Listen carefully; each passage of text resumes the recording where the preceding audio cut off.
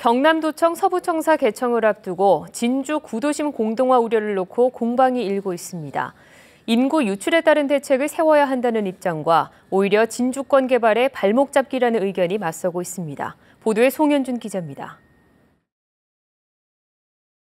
혁신도시가 들어선 진주시 충무공동은 지난해부터 입주가 시작돼 5,700여 명이 신규로 전입을 했습니다.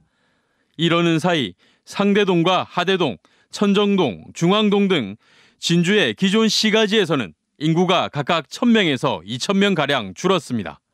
문제는 오는 12월 경남도청 서부청사 개청과 초전 신도심 개발입니다. 진주 지역 야당과 일부 시민단체는 기존 시내 인구 유출에 대책을 세워야 한다는 입장입니다. 이런 구도심 그 어, 대책에 대해서 공동화에 대한 대책을 어차피 서부 청사로 인해서 그런 지역 균형 간의 발전을 깨한다고 했으니까 이러한 부분에 대책을 수립해야 된다고 봅니다. 하지만 진주시청 이전 등으로 구도심의 인구가 대거 유출됐었기 때문에 더 이상 유출 인구가 없다며 서부권 개발 발목 잡기라는 반박도 제기되고 있습니다.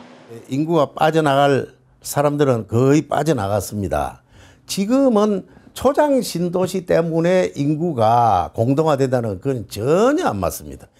혁신도시와 초전 신도심 개발, 서부청사 이전 등에 따른 기존 시내 공동화 논란을 둘러싸고 진주 지역 여론이 엇갈리고 있습니다. KBS 뉴스 송현준입니다.